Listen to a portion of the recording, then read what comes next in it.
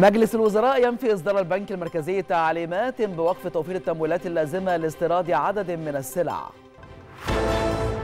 الكرملين يؤكد إحرازه تقدما كبيرا في نزع سلاح أوكرانيا والبنتاغون يدرس تدريب قوات الأخيرة على باتريوت. التضخم في اليابان يقفز لأعلى مستوى منذ أربعين عاما. السادسة مساء بتوقيت القاهرة الرابعة بتوقيت جرينتش. نشرة إخبارية مفصلة تأتيكم من التلفزيون المصري. أهلا بكم.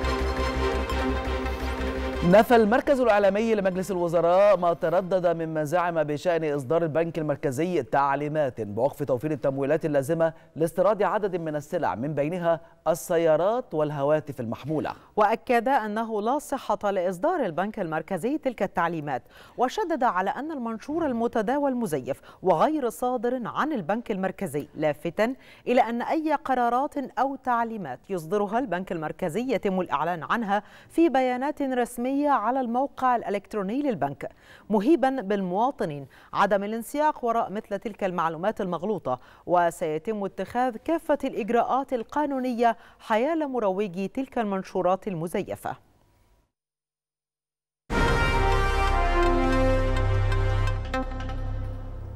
تواصل وزارة الداخلية فعاليات مبادرة كلنا واحد من خلال توجيه عدة قوافل لتوزيع المساعدات العينية على المواطنين بالمناطق الحضرية الجديدة والأشد احتياجا بنطاق مديريات الأمن على مستوى الجمهورية. يأتي ذلك في إطار الدور الذي تضلع به الوزارة للمساهمة في رفع العبء عن كاهل المواطنين.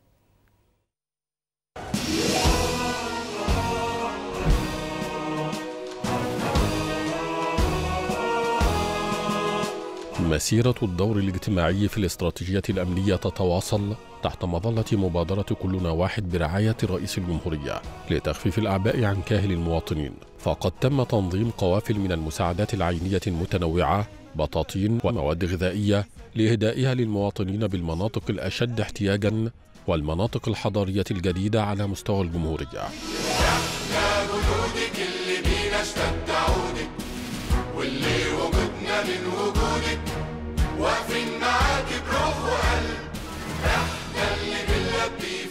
كلنا واحد.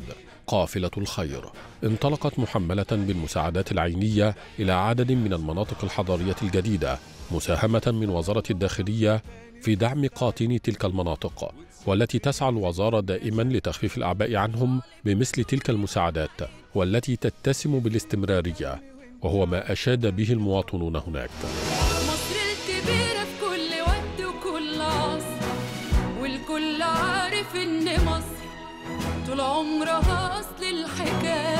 بنفرح وانتوا واقفين معانا ومش سايبيننا حتى بتقولنا عندي شقة تدونا الحاجة كمان وإحنا مرتاحين ومبسوطين.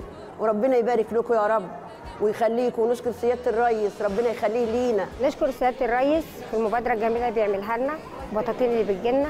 المبادرة دي الناس كلها بتحبها وبتستم... يعني بتتمنى إن هي تبقى موجودة على طول. نشكر المبادرة اللي بتعملوها لنا. بيجيبوا لنا بطاطين وبيجيبوا لنا كراتين.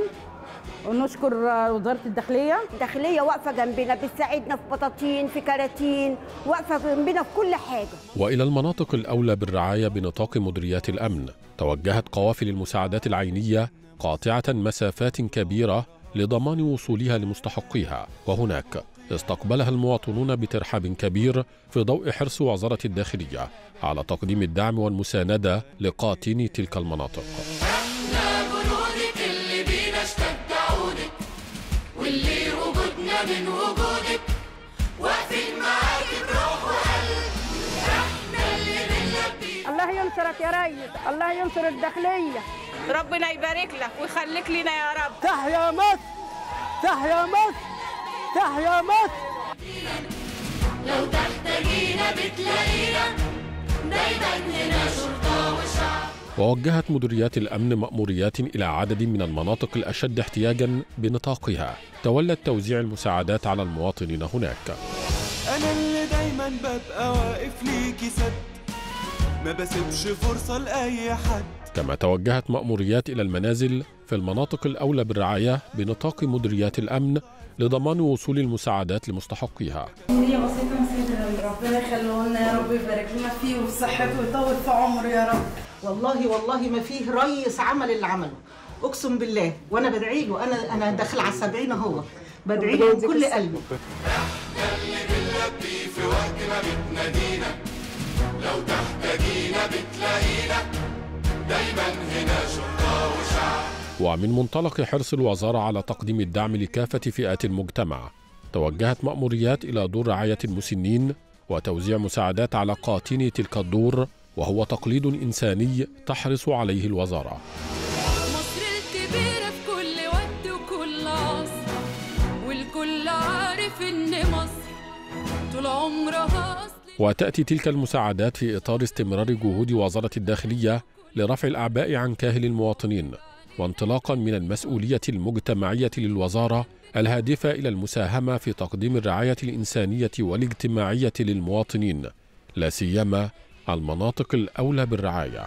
دايما هنا شرطة وشعب تواصل وزارة الداخلية حملاتها اليومية لمتابعة أسعار السلع الاستراتيجية وضبط قضايا حجب السلع والبيع بأسعار أزيد من السعر الرسمي حيث تمكنت من ضبط 809 قضايا تموينية مستندية وعينية بمضبوطات بلغت قرابة 1336 طن مواد غذائية وغير غذائية خلال 24 ساعة وفي مجالي حجب السلع الاستراتيجية والاستيلاء على السلع المدعومة تم ضبط أكثر من 202 طن في مجال حجب أرز الشعير والأبيض وعدم توريد أرز الشعير والبيع بأزيد من السعر الرسمي للأرز الأبيض.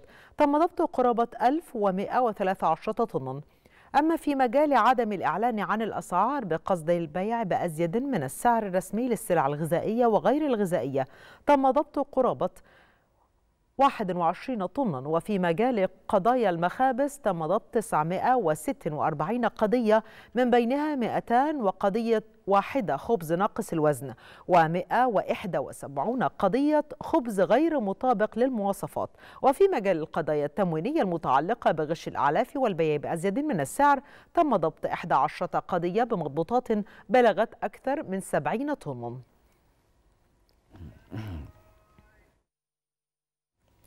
تنظم تنسيقية شباب الأحزاب والسياسيين صالونا نقاشيا غدا بعنوان المسؤولية المجتمعية للشركات وذلك في إطار الفعاليات التي تنظمها التنسيقية ضمن استعداداتها للحوار الوطني. ويناقش صالون تنسيقية شباب الأحزاب والسياسيين عددا من المحاور أبرزها دور المسؤولية المجتمعية للشركات وأشكال تلك المسؤولية وأهم المبادرات التي تحقق بها مبادئ المسؤولية المجتمعية فضلا عن مبررات الاهتمام بها وكيفية ممارستها في القطاع الخاص في مصر وأبرز التحديات في هذا الإطار.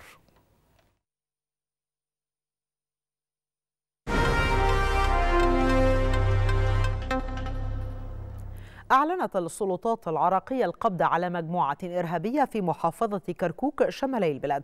وذكرت السلطات العراقية أن القوات تمكنت من إلقاء القبض على المجموعة الإرهابية التي استهدفت النقطة الأمنية الخامسة والخمسين والواقعة في منطقة كوباني قرب الطريق الدولي.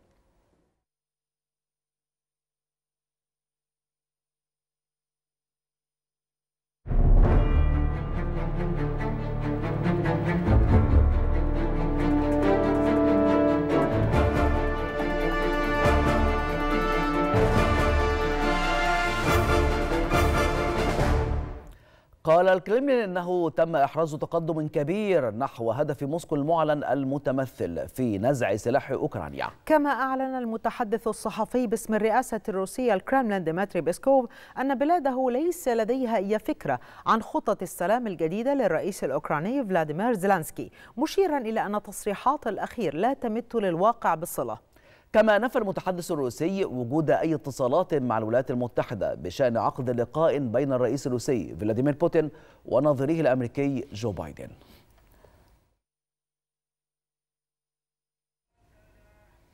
قال وزير الخارجية الأمريكي أنتوني بلينكن أن روسيا لم تظهر أي رغبة جدية في إنهاء الحرب في أوكرانيا. وأضاف بلينكن أنه عقد اجتماعات عبر ال video conference مع وزراء خارجية دول مجموعة السبع للبحث في أفكار من أجل التوصل لسلام عادل اقترحه الرئيس الأوكراني فولوديمير زيلينسكي خلال زيارته التاريخية لواشنطن. وشدد وزير الخارجية الأمريكي على أن موسكو يمكنها وضع حد للحرب فورا بسحب قواتها من أوكرانيا.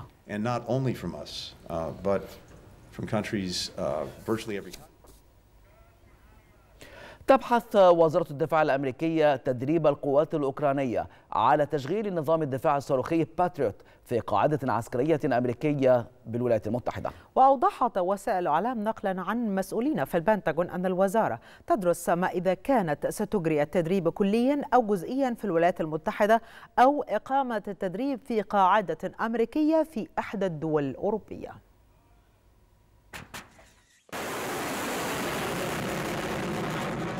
في نقطة تحول مهمة إزاء الأزمة الروسية الأوكرانية الدائرة منذ أواخر فبراير الماضي أعلنت الإدارة الأمريكية اعتزامها تقديم وثمانمائة وخمسين مليون دولار أخرى كمساعدات عسكرية لأوكرانيا. تتضمن ولأول مرة نظام الدفاع الجوي باتريوت وهو النظام الذي أكد الرئيس الأوكراني فولوديمير زيلينسكي أن بلاده بحاجة ماسة إليه. باتريوت هو نظام دفاع صاروخي أرض جو. طورته إحدى شركات التصنيع العسكري الأمريكية ويعتبر واحدا من أكثر أنظمة الدفاع الجوي تطورا في ترسانة الولايات المتحدة. استخدم لأول مرة في ميادين القتال خلال حرب الخليج عام 1991 واستخدمته الولايات المتحدة لاحقا في العراق عام 2003 يشمل نظام باتريوت رادارا قويا يصل مداه إلى أكثر من 150 كيلومترا ومحطة تحكم ومولدا للطاقة ومحطات للإطلاق ومركبات أخرى للدعم. كما أن له قدرات مختلفة حسب نوع الصاروخ المستخدم. ذلك أن الصاروخ باك 2 يستخدم رأسا حربية متفجرة. فيما يستخدم الصاروخ باك 3 الأحدث تقنية الإصابة بغرض القتل الأكثر تقدما. على صعيد التكلفة المالية تبلغ تكلفة مجموعة باثريوت حديثة الإنتاج أكثر من مليار دولار. منها 400 مليون دولار للنظام و690 مليون دولار لصواريخ النظام المستخدم من قبل 18 دولة في مختلف أنحاء العالم. وذلك بهدف اعتراض التهديدات التي تمثلها الطائرات والصواريخ البالستية والطائرات المسيرة بما يسهم في إنقاذ الأرواح والممتلكات بالدول المستخدمة له. أعلنت وزارة الدفاع الروسية إسقاط مقاتلة من طراز سو 25 ومروحية من نوع مي 8 تابعتين للقوات الأوكرانية خلال ال 24 ساعة الأخيرة. وأوضحت الدفاع الروسية أن قواتها تمكنت من إسقاط المقاتلة والمروحية في منطقة دونيتسك إلى جانب توجيه ضربات لنقاط حصينة تابعة للقوات الأوكرانية في منطقة أرموتوفسك ما أسفر عن مقتل أكثر من 80 جنديا أوكرانيا وتدمير دبابتين وخمس عربات مدرعة وست سيارات للقوات الأوكرانية.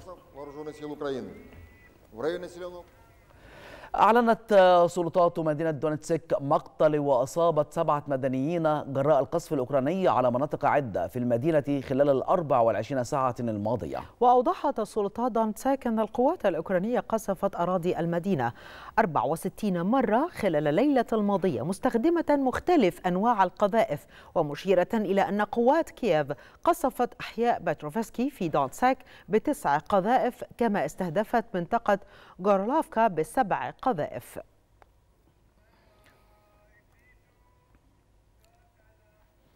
أعلنت هيئة الأركان العامة للقوات المسلحة الأوكرانية أن القوات الروسية شنت خلال ال 24 ساعة الماضية ست ضربات صاروخية وجوية وقصفت أهدافا مدنية في منطقتي خاركييف ودنيبروبيتروفسك وذكرت الهيئة الأوكرانية أن روسيا أطلقت النار على العديد من مناطق ومدن البلاد من خلال أنظمة إطلاق الصواريخ المتعددة أكثر من سبعين مرة خلال يوم أمس وأضافت الهيئة أن قوات الدفاع الأوكرانية صدت هجمات معادية بالقرب من 19 مدينة في مناطق سومي وخاركيف ودونتسك ولوهانسك Але саме він веде нас уперед, щоб помститися і перемогти.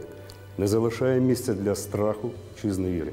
Кожного дня, усвідомлюючи ціну, яку ми платимо за свободу, я збираю всю волю в кулак. أعلن مسؤول بوزارة الدفاع البيلاروسية تسلم بلاده دفعة جديدة من أنظمة دفاع جوي صاروخية من روسيا. وأوضح المسؤول البيلاروسي أنه تم تسليم الدفعة الجديدة في إطار الاتفاقية الحكومية القائمة بين البلدين بشأن التعاون التكنولوجي العسكري مضيفا أن أنظمة الدفاع الجوي الروسية الجديدة تمثل أداة فعالة لإسقاط أنواع مختلفة من الأهداف الجوية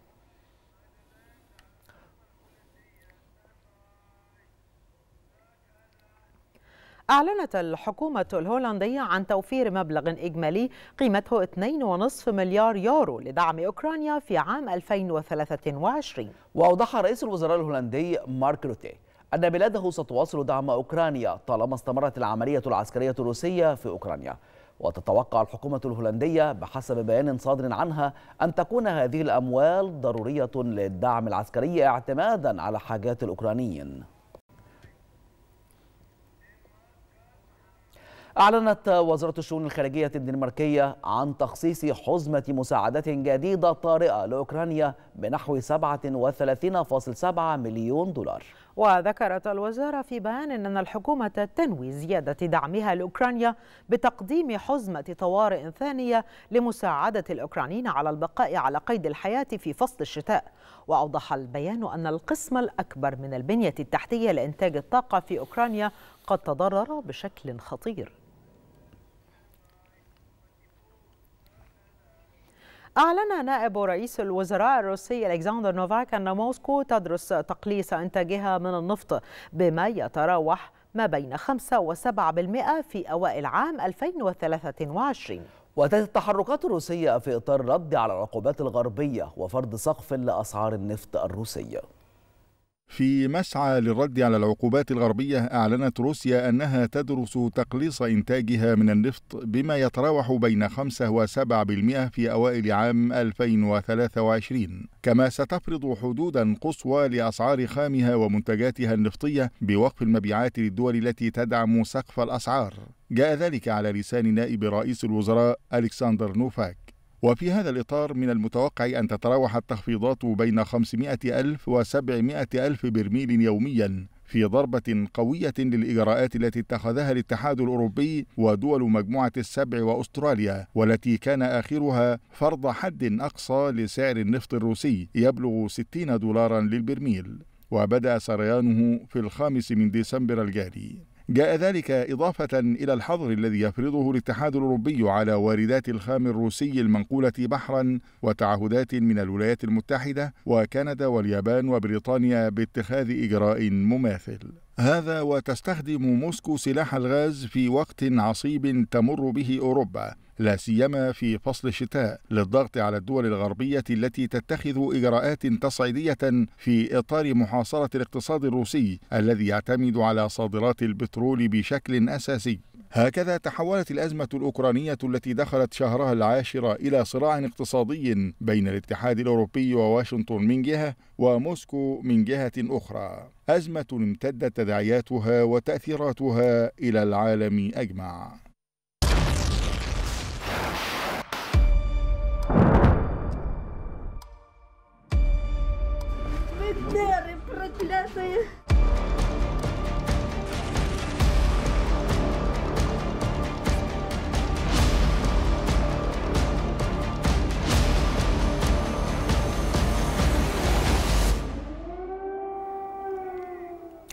تسارع معدل التضخم في اليابان إلى أعلى مستوى في أربعة عقود مع استمرار الشركات في نقل التكاليف المتزايدة للأسر وهو ما يبقي البنك المركزي تحت ضغوط قوية للحد من سياساته التوسيعية وأفادت وزارة الشؤون الداخلية اليابانية أن معدل التضخم الأساسي الذي يستثني الأغذية الطازجة المتقلبة ارتفع بنسبة 3.7% في شهر نوفمبر على أساس سنوي مقارنة ب 3.6% في أكتوبر وهو ما اتفق مع توقعات المحللين.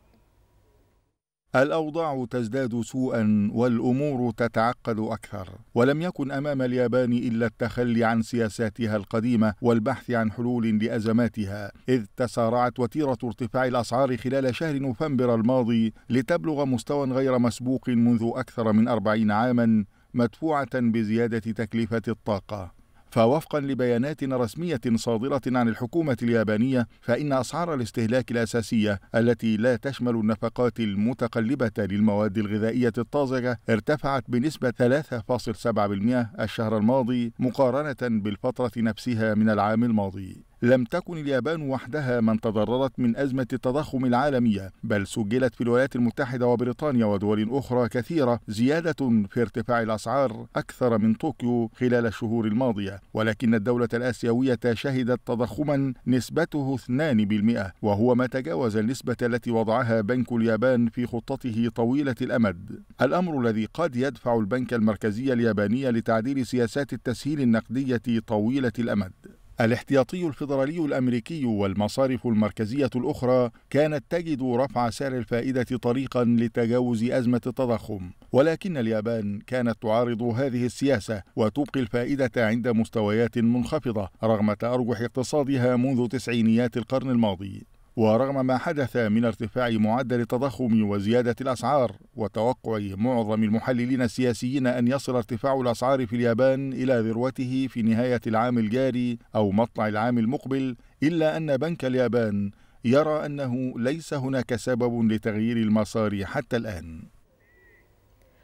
أبلغت الحكومة البريطانية نظيرتها الأمريكية بقلقها من تداعيات خطة الدعم الأمريكي الهائلة للشركات المحلية ولا سيما المصنعة للسيارات الكهربائية. وجاء في الرسالة التي كشفت عنها وسائل إعلام بريطانية أن خطة الولايات المتحدة تهدد بإلحاق الضرر بعدة اقتصاديات حول العالم والتأثير على سلاسل التوريد العالمية للبطاريات والمركبات الكهربائية ومصادر الطاقة المتجددة بصفة عامة. وتشمل الخطة الأمريكية من بين أمور أخرى إعانات وتخفيضات ضريبية للشركات التي تصنع منتجاتها بالولايات المتحدة الأمريكية.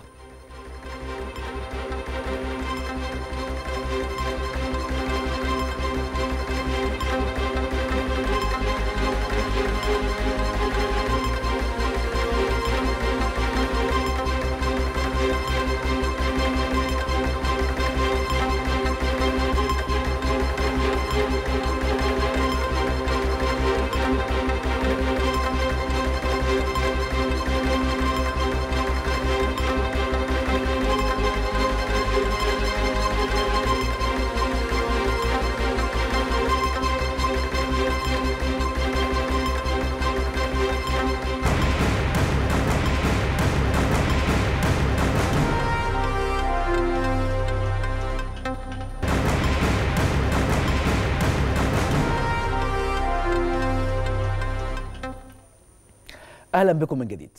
انتقدت رئيسة الوزراء الإيطالية جورجيا ميلوني صندوق النقد الإنقاذ لمنطقة اليورو معتبرة أنه غير مفيد.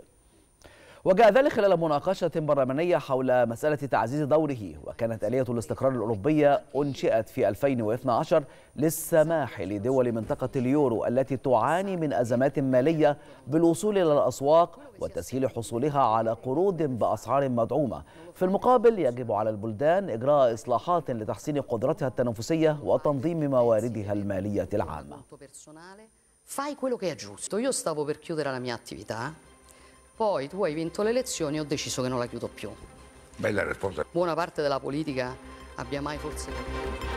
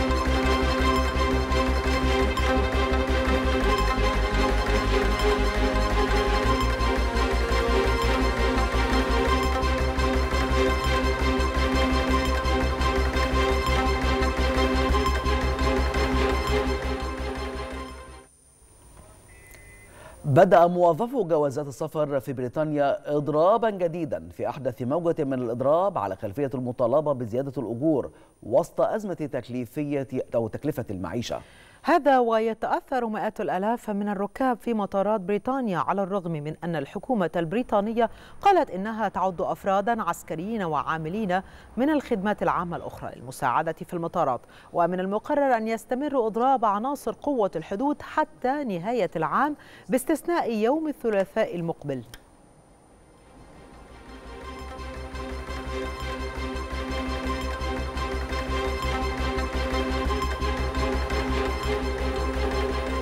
أخبار السادسة مستمرة مع حضراتكم وتتابعون فيها. في إصرار على استكمال نهج استفزاز جارتها الجنوبية بيونغ يانغ تطلق صاروخين باليستيين قبالة ساحلها الشرقي.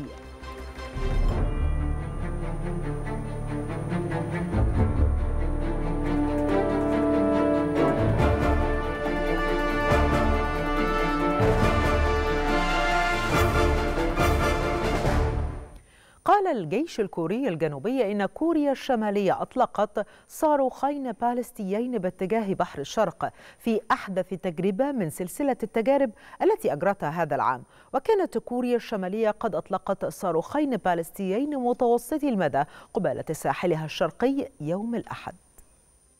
ما زالت كوريا الشمالية تلك الدولة المشاكسة التي تبث القلق في شبه الجزيرة الكورية بسبب ممارساتها ما زالت تمارس هوايتها في إطلاق الصواريخ البالستية التي تكدر صفو جارتها الجنوبية. بل وتستفز أوروبا والغرب وتدعوهم لتوثيق تحالفاتهم مع كوريا الجنوبية واليابان. ففي تحرك أخير قال جيش كوريا الجنوبية وخفر السواحل الياباني إن كوريا الشمالية أطلقت صاروخا بالستيا نحو البحر قبالة ساحلها الشرقي. ويعتبر هذا الإطلاق هو الأحدث في سلسلة من اختبارات الصواريخ بعدد غير مسبوق أجرتها بيونغ يانغ هذا العام. وكانت كوريا الشمالية أطلقت صاروخين باليستيين متوسطي المدى قبالة ساحلها الشرقي الأحد الماضي واصفة ذلك بأنه اختبار مهم ومرحلة نهائية لتطوير برنامج قمر صناعي للتجسس من المزمع استكماله بحلول أبريل. وبحسب خبراء يعتبر تطوير قمر صناعي من هذا النوع بمثابة ذريعة تسمح لبيونغ يانغ باختبار صواريخ باليستية عابرة للقارات إذ تتمتع الأخيرة بجزء كبير من التكنولوجيا عينها المستخدمة في الصواريخ التجسسية. وفي هذا الإطار تحذر الولايات المتحدة وكوريا الجنوبية منذ أشهر من أن كوريا الشمالية قد تكون قريبة من إجراء تجربتها النووية السابعة. يأتي ذلك فيما لا يردع بيونغ يانغ حزمة العقوبات التي فرضها مجلس الأمن الدولي عليها بسبب برنامجها النووي والصاروخي منذ عام 2006 وتمضي بإصرار كبير في بناء ترسانة نووية تناوئ بها القوى الغربية. من جانبها قدمت اليابان احتجاجا إلى كوريا الشمالية عبر سفارتها في بكين على أحدث تجارب بيونغ يانغ الصاروخية. وقالت الحكومة اليابانية إن كوريا الشمالية أطلقت صاروخا باليستيا ضمن سلسلة من اختبارات الأسلحة التي أدت إلى تصعيد التوترات الإقليمية. وقال مسؤول حكومي إن القذيفة سقطت بالفعل في المياه الواقعة خارج المنطقة الاقتصادية الخالصة لليابان ولم يتم التأكد حتى الآن من إلحاقها أي أضرار مادية 挑発をエスカレートさせる一連の行動は我が国地域及び国際社会の平和と安全を脅かすもので断じて容認することができません関連する安保理決議に違反するものであり我が国として北朝鮮に対し、えー北京の大使館ルートを通じて厳重に抗議し強く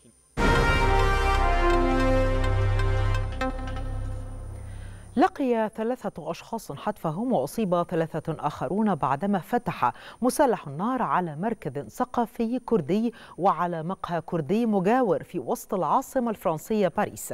إلى ذلك قال ممثل الادعاء الفرنسي إنهم ينظرون إذا ما كان هناك دافع عنصري وراء الهجوم بعد إلقاء الشرطة القبض على المشتبه بتنفيذه الهجوم وهو رجل يبلغ من العمر 69 عاما. وأوضحت المدعية العامة في باريس أن المشتبه به اعتقل قبل عام بتهمة الهجوم بسيف على مخيم للمهاجرين في باريس وتم التحقيق معه بتهمة ارتكاب جريمة بدافع عنصري.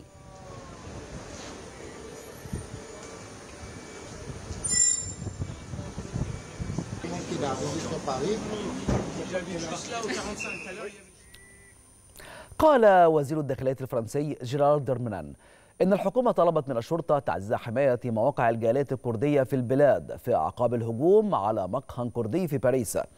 هذا واندلعت مواجهات بين الشرطة الفرنسية ومتظاهرين أكراد بعد الهجوم تضمنت إطلاق الشرطة للغاز المسيل للدموع على المتظاهرين فضلا عن دفع الشرطة الفرنسية بمزيد من التعزيزات الأمنية إلى وسط العاصمة باريس.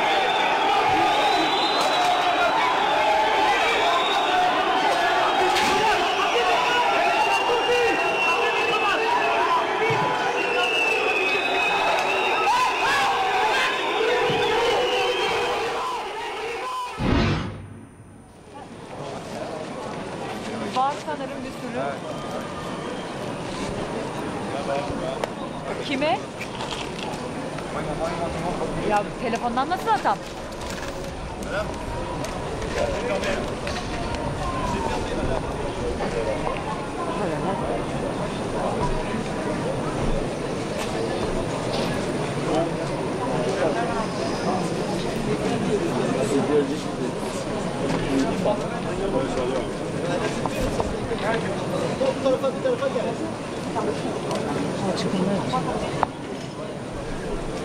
好，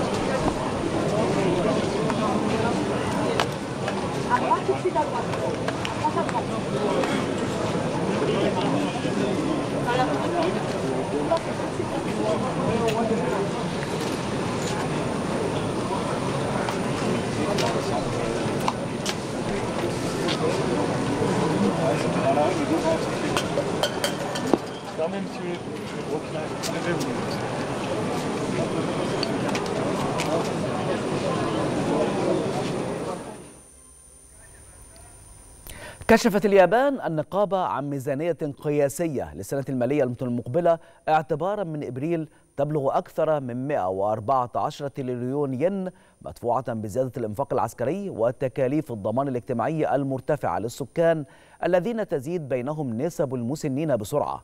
وتتضمن الميزانية التي أقرها مجلس الوزراء برئاسة فومو كاشيدا إلى جانب خطة لإصدار السندات إنفاقا قياسيا على الجيش والرعاية الاجتماعية. 꼭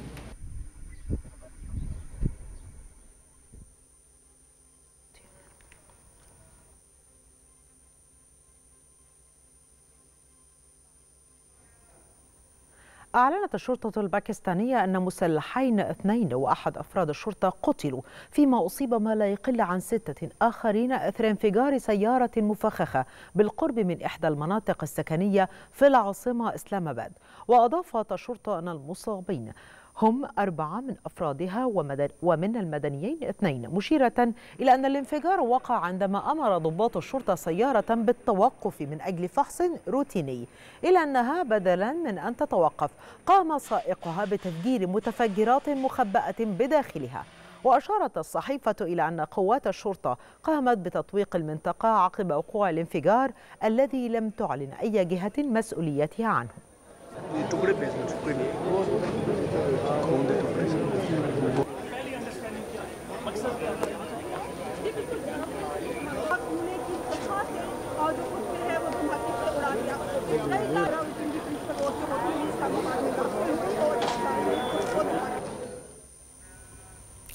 حثت الولايات المتحدة الأمريكية أرمينيا وأذربيجان على النظر في خطوات من شأنها تخفيف التوترات لتكون بمثابة أساس لعلاقات حسن الجوار في المستقبل. جاء ذلك في بيان نشره البيت الأبيض عقب مكالمتين منفصلتين بين مستشار الأمن القومي الأمريكي جيك سوليفان وأمين مجلس الأمن القومي الأرميني ورئيس قسم السياسة الخارجية في الإدارة الرئاسية الأذرية واستعرض المسؤولون الثلاثة خلال المكالمتين المنفصلتين التقدم المحرز في محادثات السلام التي يسيرها الاتحاد الأوروبي والولايات المتحدة منذ اجتماعهم المشترك يوم السابع والعشرين من سبتمبر الماضي في واشنطن العاصمة. وبحسب البيان أكد الجميع التزامهم بالمفاوضات بهدف إبرام اتفاق سلام.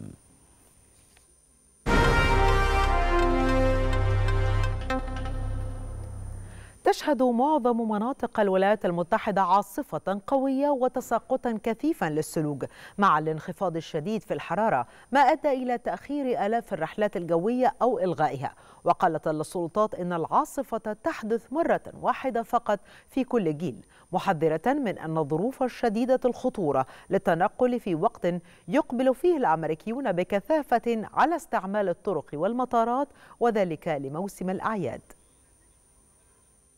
في حدث نادر لا يتكرر إلا مرة واحدة كل جيل بحسب ما وصفته السلطات الأمريكية تشهد معظم مناطق الولايات المتحدة عاصفة قوية وتساقط الثلوج بكثافة مع الانخفاض الشديد في الحرارة تسبب في تأخير وإلغاء آلاف الرحلات الجوية. السلطات المحلية حذرت من أن الظروف شديدة الخطورة للتنقل في وقت يقبل فيه الأمريكيون بكثافة على استعمال الطرق والمطارات في موسم الأعياد.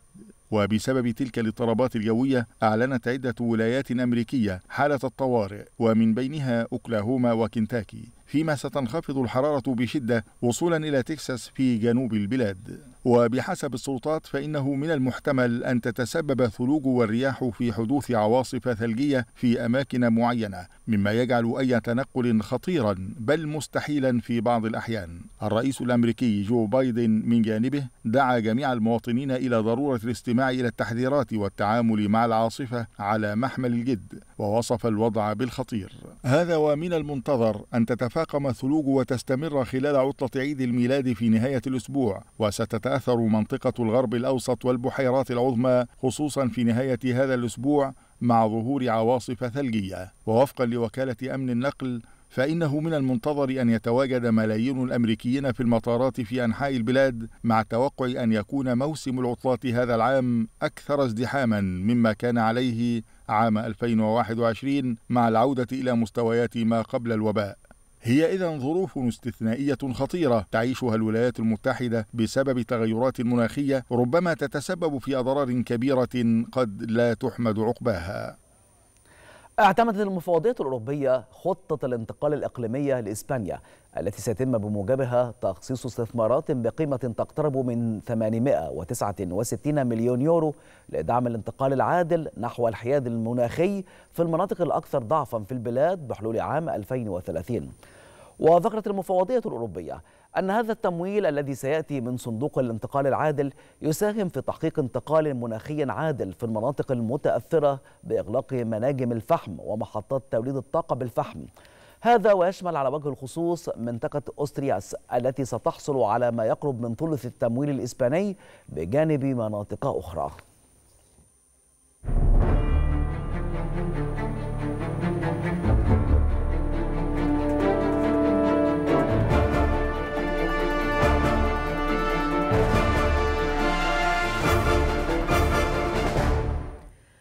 وزير الخارجية الأمريكي أنتوني بلانكن الصين إلى مشاركة معلوماتها بشأن الموجة الجديدة من فيروس كورونا والتي تشهدها البلاد.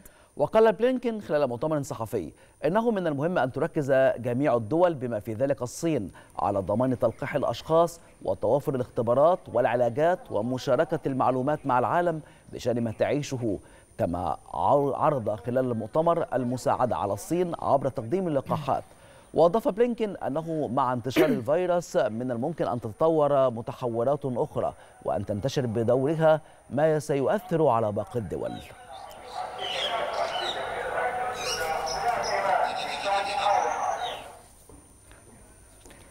قال مسؤول بلجنة الصحة الوطنية في الصين إن البلاد تتوقع ذروة إصابات جديدة بفيروس كورونا في غضون أسبوع في حين تتوقع السلطات مزيدا من الضغط على النظام الصحي. وفي مواجهة زيادة الإصابات وانتشار الاحتجاجات على الإغلاقات والفحوصات بدأت الصين التخلي عن هذه السياسة لتتجه نحو التعايش مع الفيروس. ويأتي ذلك بينما سجلت الصين أقل من 4000 إصابة محلية جديدة بكورونا مصحوبة بأعراض خلال ال 24 ساعة ولم يتم رصد أي توفيات جديدة بالمرض لليوم الثالث على التوالي.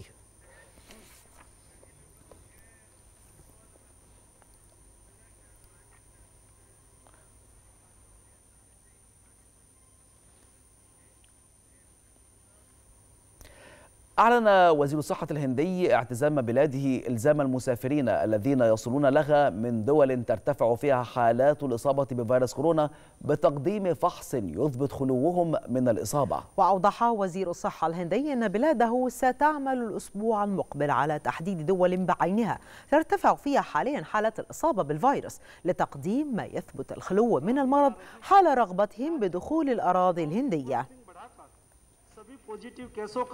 Genome sequencing करने की सलाह दी गई है जिससे अगर देश में कोई नया वेरिएंट आता है तो समय से उनकी पहचान कर सार्वजनिक स्वास्थ्य के लिए कदम उठाया जा सके सभी का कोरोना टेस्ट होगा सभी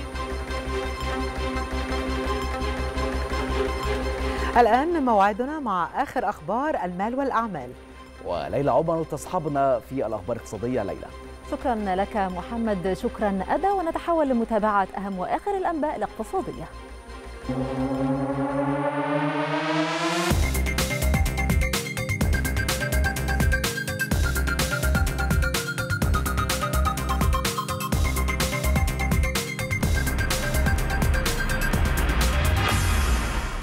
أعلنت المنطقة الاقتصادية لقناة السويس أن موانئ الشرق وغرب بورسعيد والعريش بالمنطقة الشمالية قد سجلت حركة تداول للسفن خلال شهر نوفمبر الماضي بإجمالي حمولات بلغ 3 ملايين و682 ألف و798 طنا كطاقة محققة وعدد حاويات بلغ 334 ألف و463 حاوية مكافئة من خلال استقبال 218 سفينة متنوعة خلال الشهر.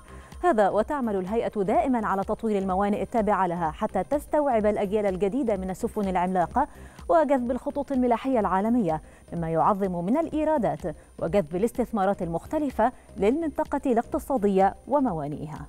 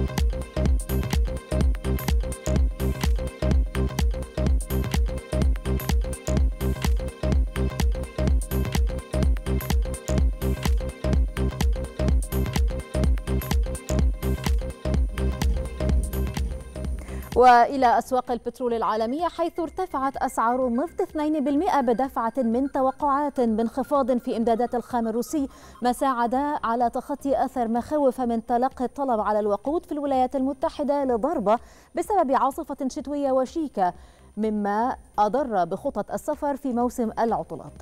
وارتفعت العقود الآجلة خام برنت بنسبة 1.7 إلى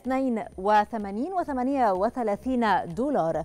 كما ارتفعت العقود الآجلة لخام غرب تكساس الوسيط الأمريكي بنسبة 2% وذلك إلى 78 و98 دولارا كما ارتفعت أسعار المازوت عالميا بنسبة 2.74 من المئة في المئة لتصل إلى 3.18 دولار للتر في المقابل انخفضت أسعار الغاز الطبيعي وذلك بنسبة 2.14 من 100 في المئة لتسجل 4.89 دولارا لكل مليون وحدة حرارية بريطانية.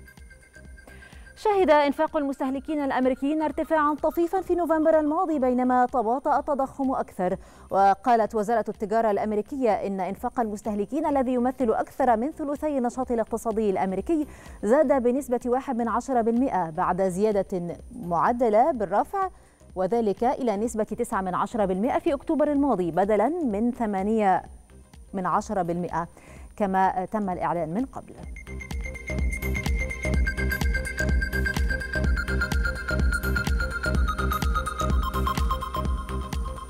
فتحت المؤشرات الرئيسية في وول ستريت على انخفاض وسط تعاملات متقلبة بعد أن أظهرت بيانات أن التضخم وصل التباطؤ وتراجع مؤشر داو جونز الصناعي 2 من 10% بينما هبط المؤشر ستاندرد أند بورز 19 من 100% في حين نزل المؤشر ناسداك المجمع 37 من 100%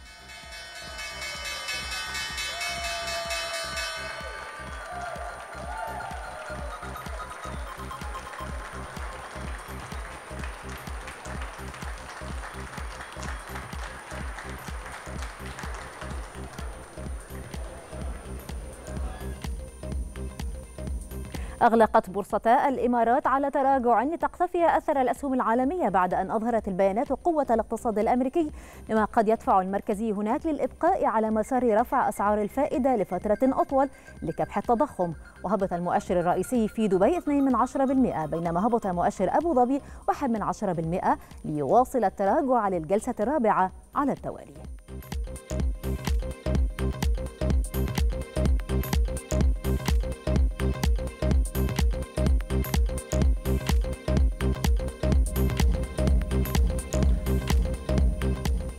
ختام وقفتنا الاقتصادية عودة مرة أخرى لأداء ومحمد لاستكمال النشرة. إليكما شكرا لك يا ليلى.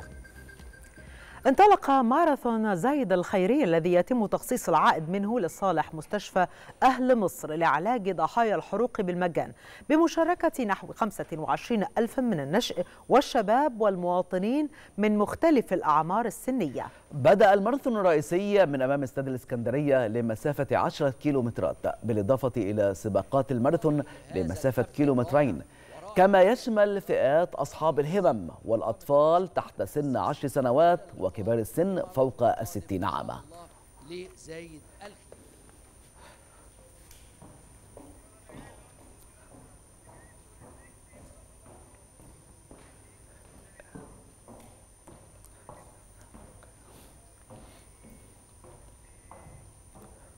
شهدت محافظة الأقصر فعاليات الحفل الختامي لملتقى الأقصر الدولي للتصوير في دورته الخامسة عشرة تحت رعاية صندوق التنمية الثقافية. شارك في الملتقى 17 فنانا من ست دول مختلفة وهي مصر والهند والبحرين وتونس وجورجيا والعراق.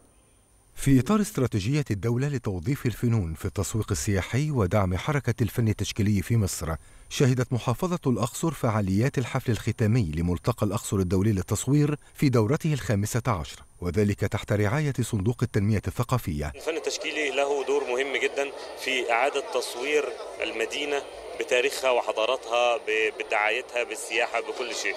أيضا اهتممنا بمجموعة كبيرة من الملامح هذه ال- الدورة زي الأفلام آه، فيلم تسجيلي. اهتمينا إن إحنا نوثق تجربة الفنانين كلهم آه، نعمل لقاءات مصورة بالفيديو معاهم. آه، اهتمينا بالجولات السياحية أيضا لأنها كمان بتؤدي إلى مزيد من التأثير في الفنانين من خلال ال- الحضارة والآثار اللي بيشوفوها. سعيدة المرة دي إن أنا كنت ال commissaire بتاع ال symposium بتاع الأقصر. حاولت بشكل كبير جدا أطوع كل حاجة للفنانين بحيث إن هم يطلعوا شغل فعلا من وحي الأقصر لأن السنة دي أول سنة في ال symposium بعد 15 دورة. يبقى في slogan يبقى في تيمة لل- لل symposium وهي الأقصر بعيون الفن.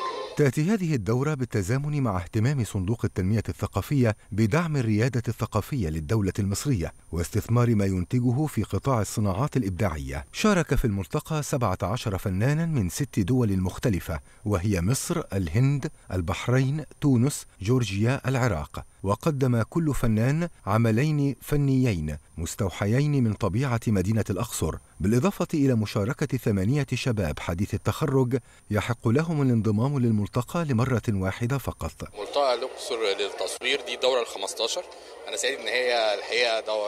متواصلين في عدد الدورات. آه، يمكن السنة دي الدورة آه، وثقت حاجة مشاريع مهمة آه، تم إقامتها في محافظة الأقصر منها مشروعات الهوية البصرية منها مشروعات التطوير والترميم الأخيرة آه، للحفاظ على التراث وعلى المناطق الأثرية والسياحية. آه، أيضا وثقوا بعض مشروعات إزالة آه، تعديات المباني على المناطق الأثرية ما قبل وما بعد. آه، الحقيقة يعني كل ده بإيد الفنانين المصريين آه، وكذلك أيضا معانا مشاركين فنانين من دول عربية وأوروبية وآسيوية. الملتقى في الأصل هو فعالية فنية ثقافية آه، معنية بمشاركة مجموعة من الأفراد الفنانين التشكيليين في بوتقة واحدة موجودة جوه الأقصر. والحقيقة أن التأثير البيئي نفسه بتاع الأقصر بيظهر على الفنان من بيئة منغلقة تماما موجود فيها لمدة 15 يوم. البيئة ديت بتتيح ليه أن هو ينتج عمل فني مميز جدا متأثر وفي تأثر واضح جدا بالبيئة المحيطة بيه؟ آه، حاجة جميلة جدا. آه، ملتقى الأقصر الأقصر الدولي ال 15 زي ما إحنا عارفين يعني بقى لنا 15 سنة. آه، بدون توقف الحمد لله. حدث عبقري على أرض الأقصر. بنسعد بيه جميعا سواء إحنا كأعضاء تدريس أو طلاب كلية الفنون الجميلة. يمكن حضرتك شايف الزخم اللي إحنا شايفينه النهارده. هنلاقيهم كلهم طلاب كلية الفنون الجميلة جامعة الأقصر. ملتقى الأقصر الدولي للتصوير أصبح ميدانا للتواصل بين المبدعين من مختلف دول العالم بما يقدمه من إبداعات متميزة تخلق حوارا فنيا ينعكس إيجابا على واقع التشكيل المصري وتحقيق الارتقاء بالذوق العام وإتاحة الفرصة أمام الفنانين من مختلف الثقافات للتفاعل فيما بينهم. تزين برج القاهرة بشعار مبادرة قادرون باختلاف الجديد وذلك بهدف دعم ذوي الهمم وتشجيعهم على الاندماج في مختلف المجالات داخل المجتمع. يأتي ذلك في إطار الاستعداد للاحتفال بالنسخة الرابعة لاحتفالية قادرون باختلاف والمقرر انعقادها في نهاية شهر ديسمبر الجاري.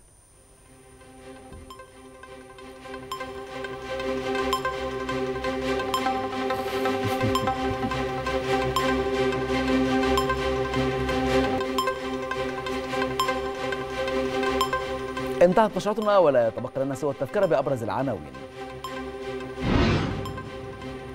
مجلس الوزراء ينفي إصدار البنك المركزي تعليمات بوقف توفير التمويلات اللازمة لاستيراد عدد من السلع.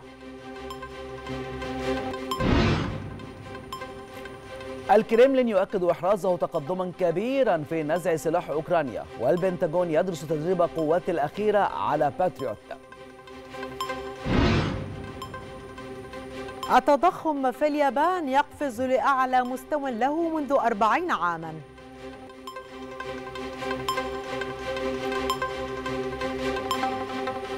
وصلنا معكم لنهاية نشرة السادسة من التلفزيون المصري. دمتم في أمان الله. إلى اللقاء.